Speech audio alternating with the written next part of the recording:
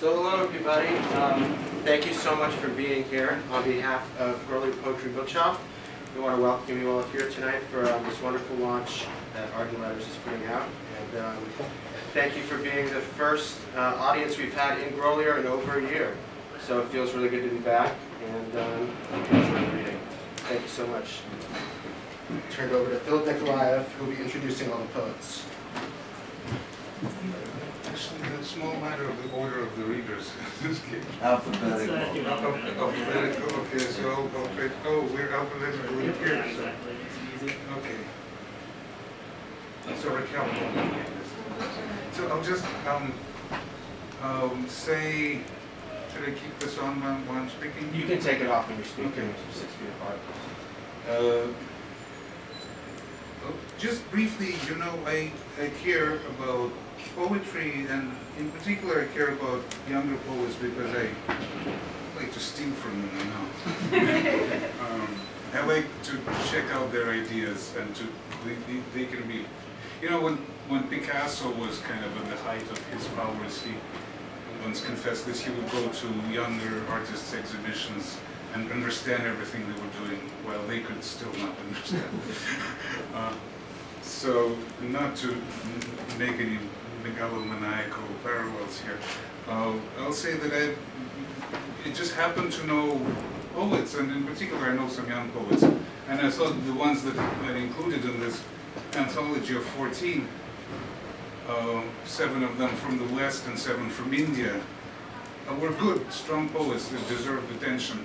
And it all started by me putting together one of those Zoom uh, Zoom readings. I was doing a lot of Zoom readings about a year ago because we were at the height of the pandemic and so on. And so I put together this uh, reading of 14 poets. Um, and uh, after that, first of all, the, the video went sort of moderately viral on social media. It got thousands of views. Um, and uh, very quickly, a group of us emerged in social media, all, these, you know, without my participation at first, of the younger poets who self-organized into this kind of suddenly coherent and cohesive community of poets. And I think they've become something of a of a unity, some form of unity for all their diversity and so on. I really like what they're doing, and I will let their poems and I guess their bios to speak for themselves. Uh, what's the best way to do it? Should I introduce everyone, and or should I um, introduce everyone individually? Ben, what's your opinion? Um, introduce everybody at the start, but announce each reader. Okay, fair enough. That's a good point. So I will I will tell you then a bit about them. All the this information is at the back of the anthology, which I hope you will acquire if you have not yet. Um, and thank you very much for coming. I'm actually looking forward to hearing this in real life as opposed to on Zoom. Raquel Balboni is from around here, and her first collection of poems, Triple X Poems, from Arts and Letters 2020. And her poems have appeared in Urban Rail, Spoke, Dig Boston, The Cafe Review, Arts and Letters, Gianthology, The Boston Compass, New England Review of Books, and the anthology Boston by, uh, from Dostoevsky Wannabe last year. She is the co-publisher of Art and, Art and Letters, the Boston-based press, and she co-edits the monthly poetry column in the Boston Compass. She lives in Cambridge, Massachusetts. Justin, do I say Burnett or Burnett? Burnett. Burnett. okay. Uh, Justin Burnett is a poet and visual artist from Marblehead, Massachusetts. Blake Campbell uh, has had writing that has appeared in, or is forthcoming in Painted Bride Quarterly, The Dark Horse, The Worcester Review, Measure Review, Lambda Literary, and Fulcrum. Pushcart Prize nominee, he's the recipient of the 2015 Aliki Perroti and Seth Frank Most Promising Young Poet Award from the Academy of American Poets and a 2020 Emerging Artist Award from the St. Botolph Club Foundation. He lives in Salem, Massachusetts. Emily Grachowski, do you say it with ch or sh? Uh. Grochowski. Gotcha. Thank you. Emily Grochowski. Thank you. Is an experimental poet receiving her bachelor's. Well, I think you've received your bachelor's degree pretty well. Okay. She has received her bachelor's degree in creative writing from Emerson College in December 2020, and uh, her poetry has been published in Dead River Review and La Guagua Poetry Anthology Celebration and Confrontation. Oh, is Paul here? Oh, I'm sorry, I didn't see you. So nice to, so nice to see you. It's been too long. And Good to see these you. masks, you know. Um, Paul Rowe lives on, on the North Shore of Massachusetts and works at Endicott College, Merrimack College, and Jabberwocky Bookshop. His work is featured in Literary Imagination, Moonchild Magazine, Minor Literatures, 3 AM Magazine, Hawk and Whippoorwill, Hancock and Whippoorwill. Paul is editor of the anthology Boston, published by Dostoevsky One.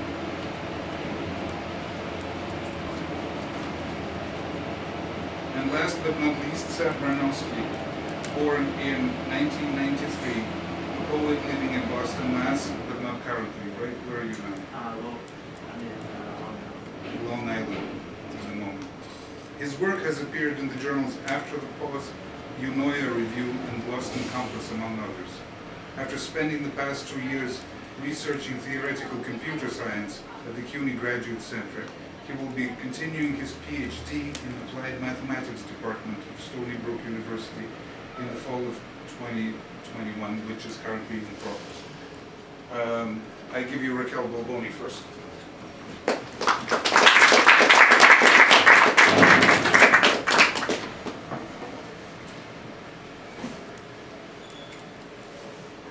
Everybody?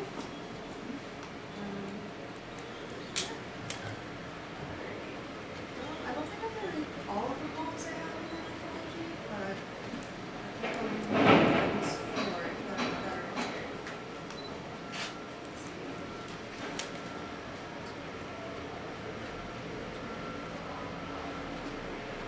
In my dopamine castle, all is well in my dopamine shell. All is fine in the nightmare hours when the head or the shrinks. When the sour heart powers on.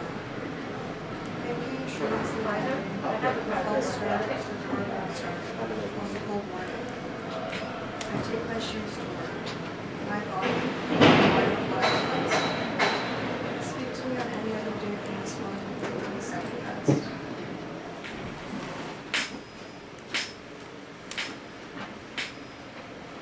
All the shit in a box, the life of senses rearranged and each other for the first time.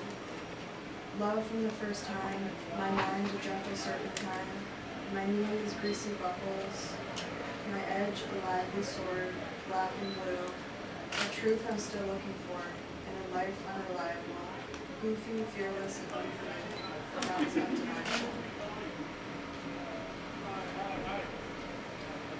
Inside the crawl spaces, written languages from in the house that left out some faces in the walls. Be patient for that reconnection day. Even it out, line in hand, lost in other. Lost connection, but found equally something. Different the last day and decide pretty grateful today. The room needs to be minimalistic. A drastic turn from shrine topping eye dropping people kicking the legs on the stairs. The carry it all away superstitions that have become entirely made up from the desire to help the space run away.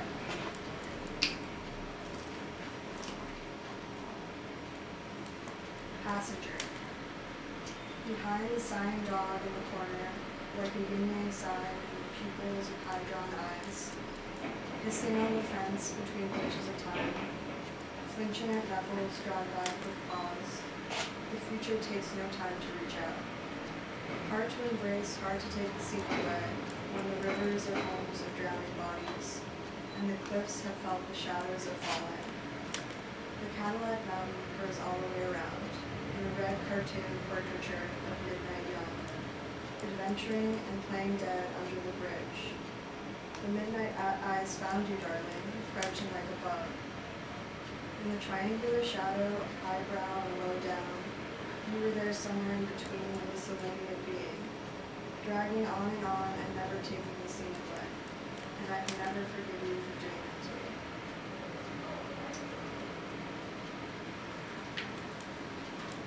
Um, I think the last poem I'll read tonight, um, it's called Sensibilities. People fall for it so easily. Other people screaming in the dark, finding the light in the long hallway. Louder up north, colder in a circle of screaming. At the end, the big pull and following release. Horror following along the blue end of the track. The nails are all twisting towards north. There is a place to go. There could be a bad time without a good exit strategy. There is a pain without direct combat, soothing down the patch in the middle. What happens stays happening, sitting down and screaming.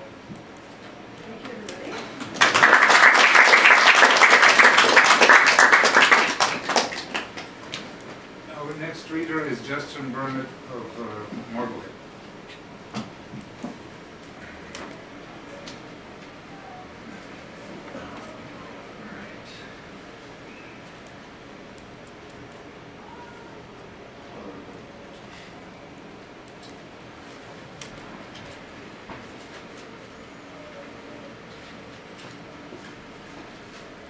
PA. Prompt. This is a formula, x being summation and the exponential value. Use it for H. pylori. I do every day. I can see you have inflammation. Why? Why? Is formulaic. I reviewed your history. Black and white, black and blue, an x-ray. Oh, what I saw. You see? There, there cancer unfurling like rainbows through mist.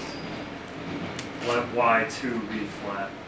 Let all expectation sit like a eunuch, unpigmented possible mode. There is no Z-axis wheelchair. You and imaginary numbers.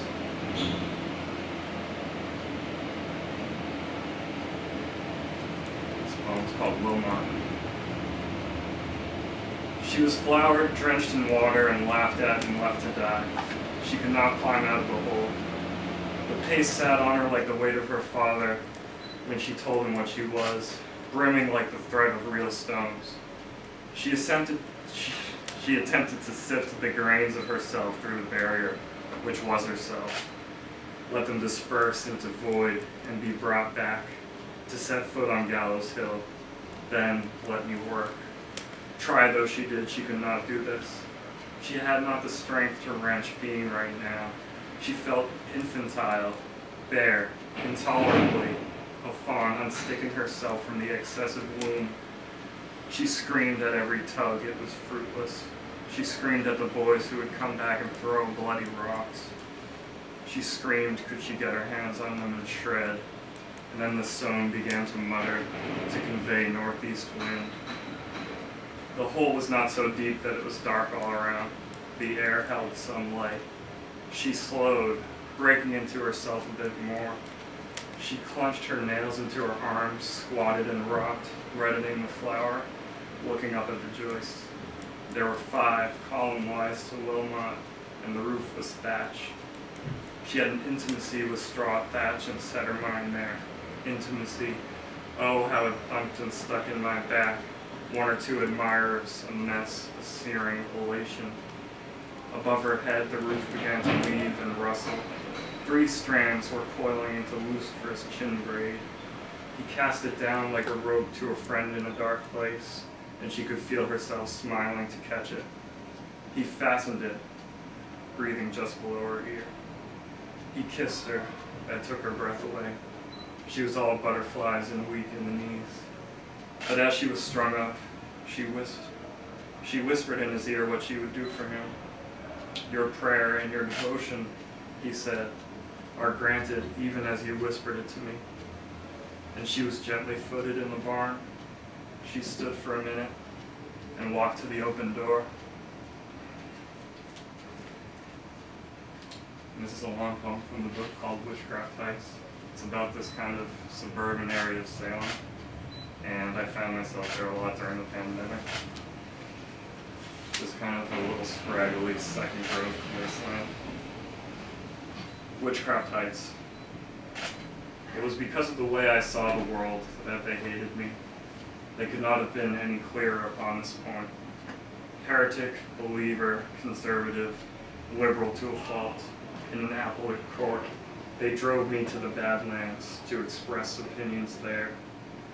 The road had been cut by one slicer, birches and invasive altissima, hewn in half, blackened as the blade was hot.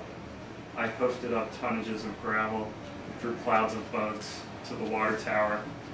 Leashless dogs and maskless people with kids came out of cleavages which led nowhere but to groups of birches like candlesticks with tiny scars. Their vestal tenders so tired from worshiping, they were all in sleeping bags. The Phoebe sang quiet, humming songs through bands of sunlight at the treetops. I thought a prayer and retraced my steps. Farther up the hill under the power lines are these telekinetically carnivorous plants, which must grow favorably in the heats cast up by the gravel. They look only a little otherworldly, from Arizona say, spiked pods opening fast as the sun going down. Only the top two bloom in yellow. What they do is catch butterflies by the proboscis when they come for nectar, then sear the souls out of them, growing new pods with each one they divest. Husks still hang from a few. Being almost weightless, their dance is erratic in the wind. You think that they're alive, and you wonder what color they used to be now they've purpled into black and brown. Atop the hill is the round blue tower, the painted witch bakes in the afternoon of slanting light. And there are other paths with greater congregations at rest, out of the wind, amid the tall grass, under the scraggle trees. Only a shopping bag rustled lightly as I checked in on them like a benevolent fawn, though I couldn't help if they needed me. Nobody talks. The dog walkers, lawbreakers come and go. The sleeping bags never move. I hear the wild goose constantly announce its migration. Christ couldn't lay his head anywhere, and I have no place to sleep. The city of peace has forsaken me, even the generic suburbia that is Witchcraft Heights. With the rock in my hand, I curl up beneath the concrete base of the metal stand of connected lines. The hunger starts to hurt. Thank you.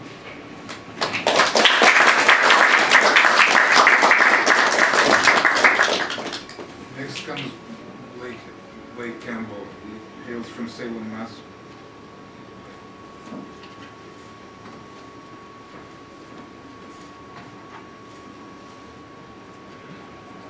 Everyone, um, I'm gonna get started with two poems from the anthology.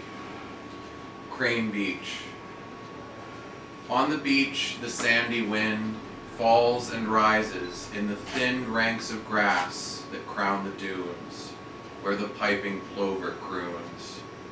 And its efforts, inexact, fashioning a ventifact from this cloudy shard of quartz, billowing our shirts and shorts as it blows in from the sea.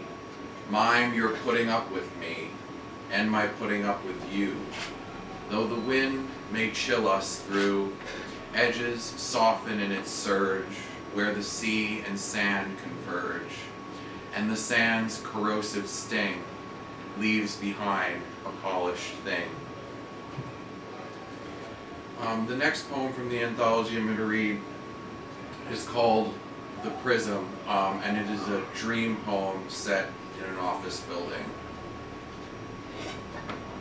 A building like a prism of the mind, all offices. The dream admits us both. The sun is mine alone that speeds the growth of notions I refuse to leave behind. Glass entrances, glass exits, double takes and sneers alike reflected on display. The lobbies, love seats, all upholstered gray, and thriving potted plants that look like fakes.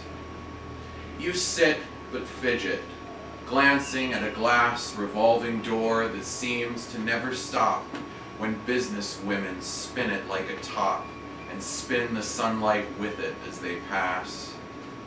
Content to take things slow, we do not touch. Some interview awaits me up above, a prospect more auspicious than our love, but nothing that excites me very much.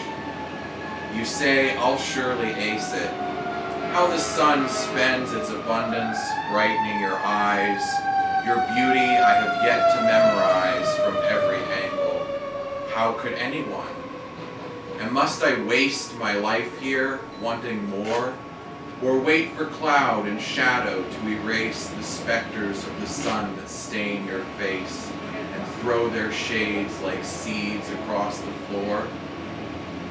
The silence drones between us, incomplete negation, but negation just the same.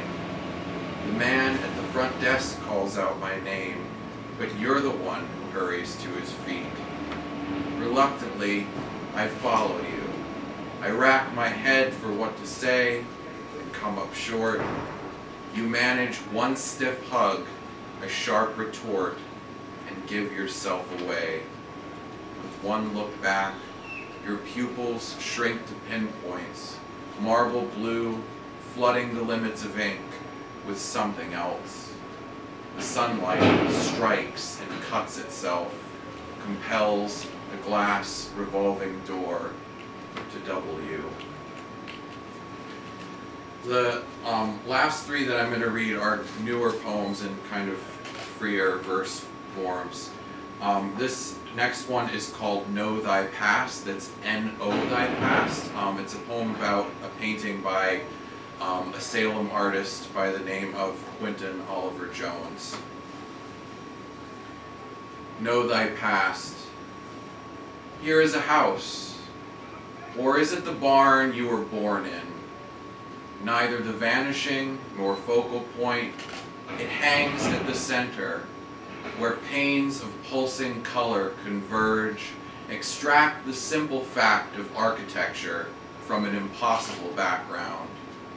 Here is a structure recollection rescued from the usual domestic mess, the human complications. But soon, the panes that frame it flash to accentuate only themselves, and the house, if it is a house, must suffer continual erasure, must suffer if it hopes to be renewed. Um, the next poem is one from coal country in Pennsylvania where I grew up. Um, this is a poem about the furnace in my childhood home. It's called the furnace. My father had to feed it to keep it from killing us, to keep the gas from seeping into the basement, into the house. He shoveled each truckload of anthracite toward the center of the bin, where the auger spun a slow whirlpool of fossil fuel, funneled it into the flame. Twice a day, he had to fill the hole against the fumes, the coals burning in darkness, turning to poison. When he left, the furnace remained, survived him even, though not without effort. It groans and creaks, however much we bleed the lines, release the trapped air from pipes and radiators. The holding tank fills with water beneath my mother's bed each night. She hears its constant struggle to perform. By now, the coal that keeps us warm has come upstairs. She sees it when she cleans. How it has darkened the shelves, the chairs, the dust that settles. The last poem I'm going to read um, is another Pennsylvania poem called Deer Flies, which are little biting flies closely related to horse flies that are very abundant um, on the land where I grew up. Um, and I'm going to dedicate this one to my mother who is zooming in um, from Pennsylvania right now um, because I feel that she has lived this poem as much as I have. Deer flies. July, and the heat-seeking deer flies descend, spirits risen from black mud, where the creek's most sluggish tributaries subside into swamp. Easy to kill but insistent, unwelcome as dream reprimands from dead family. They seem to come in greater numbers every summer, though it takes them years of maggotry to mature, breaking down the forest's constant detritus. Our predecessors sank their trash into that stinking darkness, left Coke bottles, mason jars, flasks of Phillips milk of magnesia for us to unearth decades later and polish into knickknacks for the kitchen. Do these flies also have a second life? Or do they, do they presume to prepare us for hours, crawling into our hair, seeking a spot on the scalp for the first incision? I anoint myself with poison to keep them at bay, but they buzz at my ears, testing the chemical fence between us.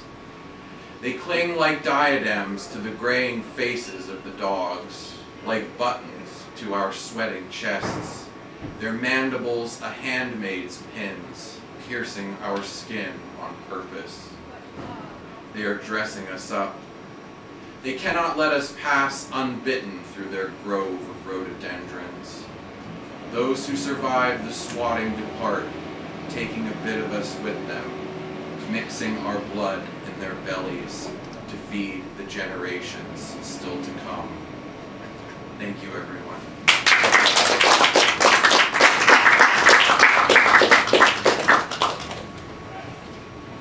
Emily Grahos, no, Grah- Grahos, right? Yeah, I said it right, sorry.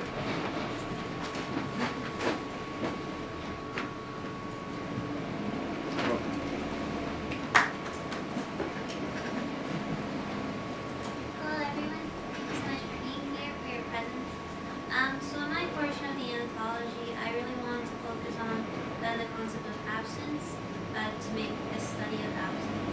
I often feel like Emily Grochowski, uh, the person, the writer, is absent. Um, she is the clean slate, the tabula rasa, uh, the empty canvas, the ritual blank. I'm simply there for others to impose themselves on. But I do not become bothered by it. Um, it allows me to destroy myself and reconstruct myself each time. Uh, so to go on the main thing, the theme of absence, I will read three poems from the anthology. The first, the first poem is Deaf Speech. So to give context, deaf speech is unattainable, inaccessible, unknown. I often think that speech is lost, that abandons us. Uh, the instant of its death is what really connects us and binds us to it. Um, speech brackets answers to such questions as what do I know, what do I feel, what is the thought function behind speaking, knowing, and feeling. Um, speech doesn't give it a name, it condemns us to silence. So deaf speech. The passive silence and active silence sometimes are the same, indistinguishable in one, lost through the labyrinth of Schweigen for too long. Silence passes through, in a long tube with ravages of blood. Passive and active, active and passive, active and active blurs, all silences, even is equal, the passing and acting, just artful and hearing, of deaf speech lost, always unchanged. So the next poem I will read is called Universal Language. So this poem concerns silence, uh, which is the only constant in my life. When it gets to the point of absolute silence, I know that nothing can be done, that it's all over. Just as many use music, art, love, distraction. Um, to escape, I use silence to forget. It is the universal language. So this poem is constructed in the way of a mathematical proof. It is an argument. It is an argument for silence. It is an argument from silence. Universal language. If I submit myself to silence, the null elements of all spoken languages concerning the world, and silence belongs to a subset of those languages, then I know every language of the world. The proof for this can be shown through the following.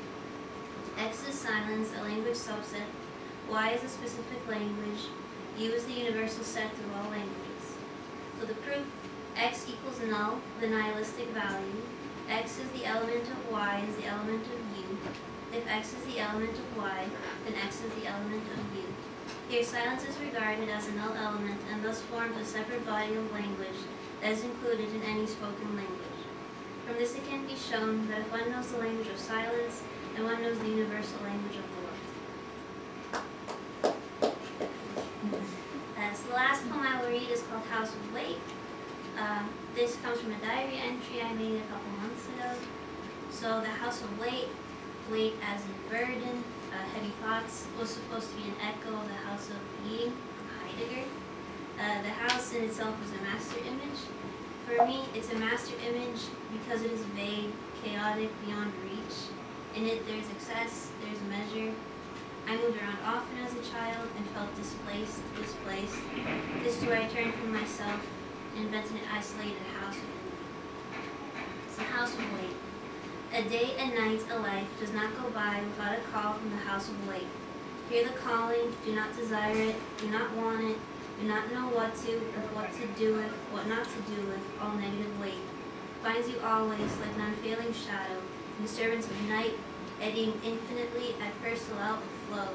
Do not know how to, if how knew how to, sever off the waiting, just lie waiting in emptiness as an abandoned home. Forget of consent, of existence, of consent to existence, of what life, whose life the home wants. Close to you regardless, the object unable to self-defend. Go on accepting, ravaging, drowning, darkness devouring the sunken flame, until every malady of the world finds a home in you. You who have never known of homes, you who matter distorts, you who only the void desires, makes of you this abandoned home, the house of weight, that all consigned to ruin all of us. Thank you, that's all.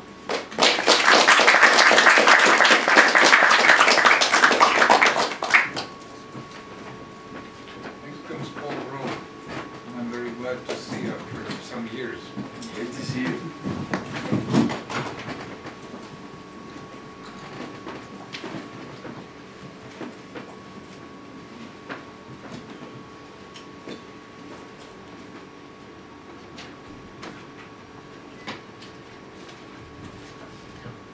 Thank you all for uh, having me. Um, Thanks for being here. So I'm actually going to read my poems from the anthology. I think I'll read them backwards because, um, fun fact, that's the, the way that they were written in that order. So we're reading um, the fates. While the meadow lies strewn beneath pinprick constellations, wind blusters leaves that sigh among gnarled cork trees, beckoning the sky open its widening maw, to sink among leaves this once beside you, to wonder what the old man will say before he is silenced, his words swallowed by brushstrokes on his canvas, his dapple patterned ships on the Pacific could rise and fall just this once, to stray through the reeds to rustle our ears, past the rusted stadium careening before us, across the stream where we reeve on the banks of Lethe, whispering centuries, threads of light, ties spun by silkworms of the mulberry tree. Lost highways. How curiously this wind-torn landscape crawls to accordion beat, all idle, staggering experience, grazing all pastures.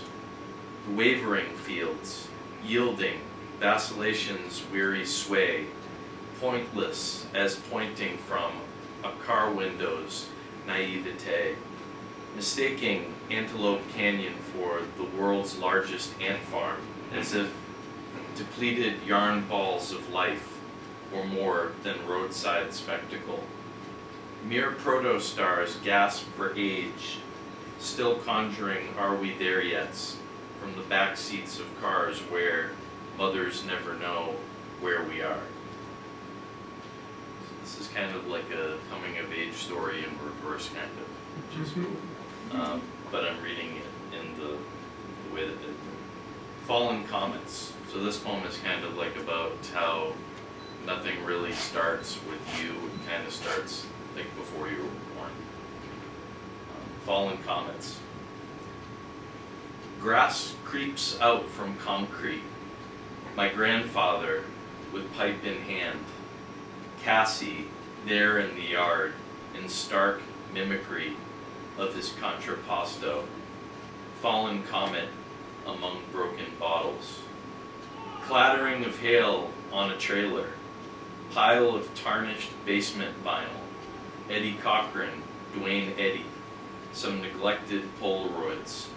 Crouching epiphanies of devastated neighborhoods. How old are you? Uh, 32. I had to think about it for a second. that shouldn't be that hard. the name on the letter, Eurydice. This poem actually has to do. It's for. It's actually the only poem in here that's like not from my perspective. It's written from the perspective of um, somebody else. In my restless dreams, I see the town sliver of a chance to make it right, fulfill broken promises. Town with a special place hold beneath clouded eyes. Town that holds the dead in like the last word withheld. So much left to say. Eurydice, rising in dreams, waiting on the silent shore. If a dead person can't write a letter, why write back? Lost, looking for the town, how many roads like this must I walk in the fog. In this restless dream, a hotel looms on the lake. I wonder if it's still there. You look like her a bit. I loved her. In my restless dreams, we stand on the bridge and make a stand against the mirror below, holding secrets of an urn awaiting tears, of a silent town awaiting your voice, of reflections that fake life in dream.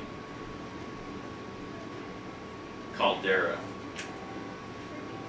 Pale light surges from the horizon line.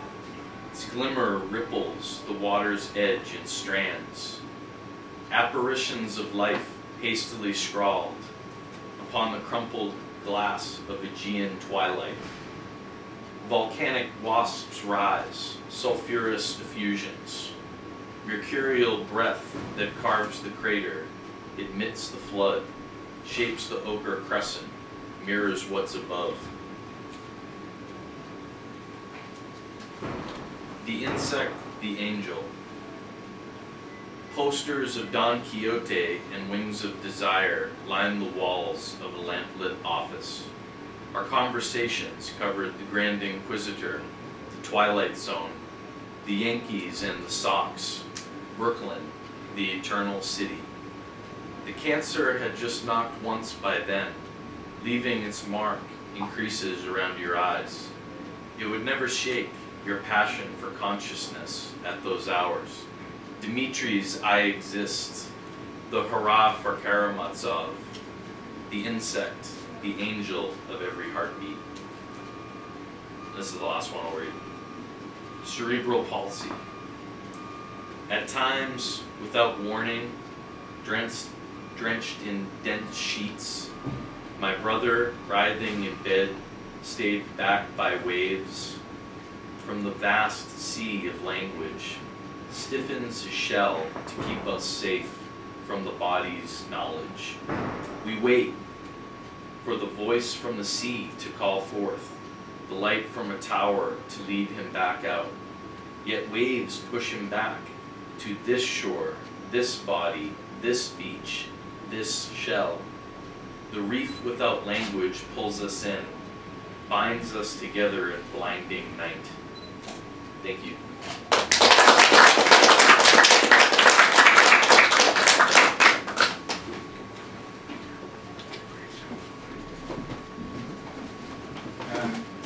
Sam I will conclude this reading.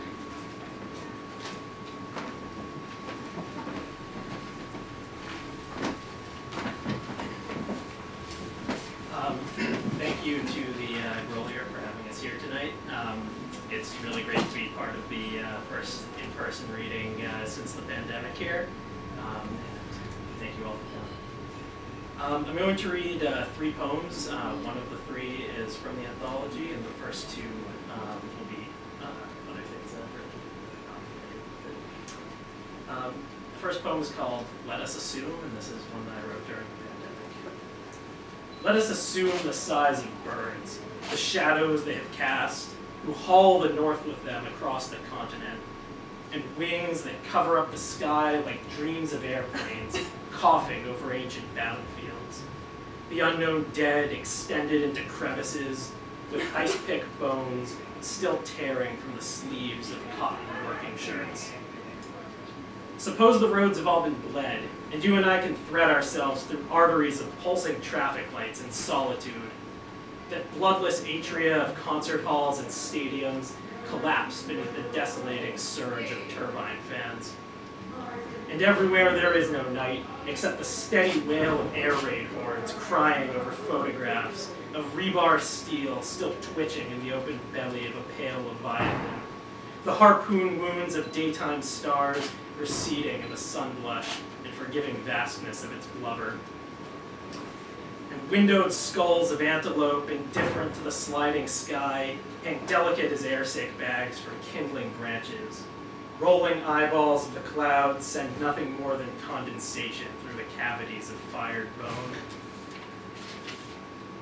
Assume the span of octopods, who grope the hulls of ships with loving suction cups and wrench their keels apart with twisting ropes of tentacle, whose nameless bodies sulk below them like a myth of hard hat workers, laying untold lengths of fiber optic cord against the centuries.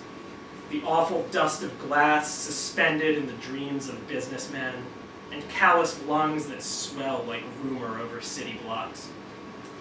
Assume that we can walk unmasked, but hidden in the faceless crowd, like tourists lost in some Venetian carnival. Um, the next poem I'm going to read is called The Beef Eaters. Um, it's a response to two Japanese texts. Uh, the first is uh, In Praise of Shadows by Junichiro Tanizaki, and uh, the second is uh, called The Beef Eater, which is a short satirical vignette by Kanagaki Robun. Um, the poem is told as a fictionalized account from a member of uh, Commodore Matthew C. Perry's uh, voyage to Japan. The Beef Eaters. In sin the ocean bore us, gunboats throbbing with anticipation, open shoulders of the waves cradling a head of steam. Edo was only as we expected it, desperate for pocket watches, buttons, the exotic ornaments we pinned to coat fronts, everything that made us decent. Stripped of these, our finest qualities were sorted into piles. Beef cows, wool coats, Croatian neckties, unimaginative tangles in the lifeless sun. The paper lanterns that they used were hardly fit to light such splendor, so we strung up gas lamps to reveal our glory. Dying coals we laid to rest in boiler rooms, were all we left to hold some sooty corner of a dark to hide our nakedness. Untouched like certain mirrors that they hid from us in unlit shrines, we found ourselves with nothing to reflect from all our burnished surfaces. But I've inscribed inside of oyster shells the rest, accounts of all that lights could fall on, and of things I knew that couldn't be repeated. Here I left a record of that cargo, and the flash of teeth from in a recess of such a dark that one could only say was fitting to its purpose. Or of lacquerware that I had seen and liked, I wrote perhaps a line or so, inserted them in mantle folds, then shut them up like briny jewels that only certain eyes might look upon. These and motions of a hand inside the darkness of a sleeve are only half-invented memories for those of us who chose to speak of them. In sin the ocean bore us, dying pockets in the wind falling, like a light so weak it only darkens shadows on the flawless surfaces we carried, unimaginative angles cut from lifeless sun. Um, the last poem I'm going to read is from the anthology, and it's called All the Lights Are Tricks. Remember that infinitives are forceful. that you have not chosen me, but I have chosen you, and will have mercy on whom I shall have mercy. The human spine was never meant to work this way. Some stuff the Greeks have said, your coat and keys, and me. I guess you don't. We met so long ago. Under all of this, you are a six-pound baby struggling to tell Grandpa you hated the needle. We have to do this because it was turpentine, not water. Drink the charcoal. It was rodenticide you ate, not candy like the usurper poured. All the way back to last night, the dream. You can't wake me with the second halves of sentences. You have to give me the beginning, and I'll finish like an alarm clock does. The clouds came up, and rained water on the bed sheets. The first half woke me, but second needn't be discussed. I don't know how many of the pricks we killed exactly, but I can't see paintings anymore and not remember it was a lot. We shelled that beach all morning like a bowl of almonds, but when we made landfall, more than all the dead, nothing prepared me for how many were alive. And I've received the sealskin boots you sent by mail, and whalebone pipe, and thrown the boots away because the smell was bad, and imagine where you are must be considerably cold. And and I enclosed the poems unfinished with the current gems you like. Understand I couldn't write in such unchristian silence, and remembered how in school they told me cursive would be faster once I'd mastered it, and how, when I was small, I got so sick with fever, and my mother gave to me this doll, and all the doctors said that I would likely die. I hated them. They all stood quiet as a letter to a stranger. I could go on, but yes, I do recall. John New came with three marlin bills and held them up to show me how they cut through fish. And I remember how the deep was full of them. He said we'd eat like this for lifetimes if we wanted, and lifted up a sawfish head, its rostral teeth overflowing from the mouth as proof of teeming oceans. And I imagined glutted seas of fish and conjured leaded clouds that rose with water that would trickle back to sea from land. I wrung them from these memories like bed sheets dredged from sand. And I remember gulper eels, the way the sea would writhe, and I invented fish that lived at depths so deep that no one could disprove. I counted slow, dispassionate, and everything. The anglerfish, their tiny males stuck half absorbed to them, the eyes of some forgotten coelacanth, and all the lights that throbbed beneath this world of half appearances and jellyfish. And how should I describe the loneliness, the horror I invented there from billfish swords and rostral teeth, or the pull of bioluminescence in so dark a place that nothing surfaces? I remember how the boats those days would dredge up everything. We watched them quiet from the docks, the men who skulked about with wicker baskets full of halibut and cusk. They traded wordlessly in gutted stares and paper bills, and we invented stories from their lives. And I was told that father kept the magnet in his desk in case a patient came with shrapnel in his eyes, as sometimes happened to the men who stumbled from the boats. He plucked the, met the metal out, my mother said, just like the second halves of sentences. A power pulled the fragments up, inevitable, magnetic, clouds would rise. I haven't used the iris scissors, hemostats, or scalpel blades, but keep them here as my inheritance and sterilized. The balloons we sent up to the stratosphere with ballast bags collapsed like jellyfish beneath the weight of centuries. And now I work computers, trace trajectories of satellites across the surfaces of monitors, and know how everything will end up orbiting to maybe 20,000 iterations. And there were times I felt so sick of it I dreamed of paper maps and compasses. The unknown edges of a world so crudely drawn, they disobeyed my perfect calculus and ripped apart the oceans, split at continents. At times, I felt so sick I rolled through white-hot images of maggot legs and dreamt about an ivory ball. The dreams, the pull, the second halves of sentences, and everything came spilling out of me to fill the universe. We understand the need for unknown quantities and wonder. Things like, how am I to make things up when I have heard how they began? The clouds came up. It ran, it ran, it ran. White caps gnashed the bones of Labrador, and I, Ishmael, was among that crew that took oaths of violence and revenge, took amphetamines to stay awake, and swore at nothingness and God past 3 a.m. And I remember frozen nights of telegrams, the way our iron tub would heel among the waves, the lash of solar wind against the night, and how the constellations blinked like glassy eyes from yawning crevices. At port, we'd trade our cigarettes for warmer clothes and make up stories of a pitch and churning sea.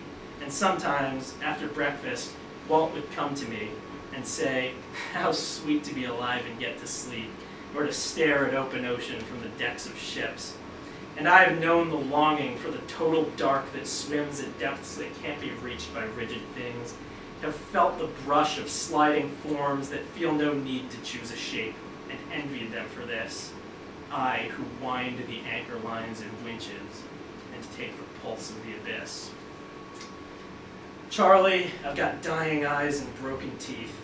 I haven't anything to be excited for. But here, she tapped her head. I still have all of it as clear as childhood, and fell back thinking to the bed. She'd ask if I remembered things, the songs we sang, the sprig of pine I used to wave, or how the soldiers stank of wine and pickled beets. She'd ball the sheets and mutter how, outside of Ungvar, mother hid us in the leaves. She told me not to move, and Elsie'd stroke my hair and pat my head and tell me how Siberiaki drank their tea through sugar cubes they held between their teeth. I wrote a poem about it once, but everything I tried to say was incomplete. And I remember how they stared at me. When I was small, I got so sick with fever that I nearly died. But never mind, I won't repeat that story anymore. And now, she doesn't recognize the words she wrote and read from them. It's nice, she said, that someone thought so much like me and fell back smiling on the bed. This is how they do not sing. The men who lean their backs on trees, the cut of shovels and the bark of birds nailed rigid to my ears, the cold, the dirt heaped over her, and all the lights that hummed beneath a world of half-remembered images that split apart in dreams. And I remember bits of cowrie shells and candies in a crystal jar, the blink of echoed names, repeated words, and fragments of a universe I swallowed back to buzzing frequencies and emptiness. She promised, this will be the way you do not speak. All those of you who've seen the knowing lights of jellyfish and dream forgetful darks of gulper eels, who grind the shovel blades and wait and churn the patient ground.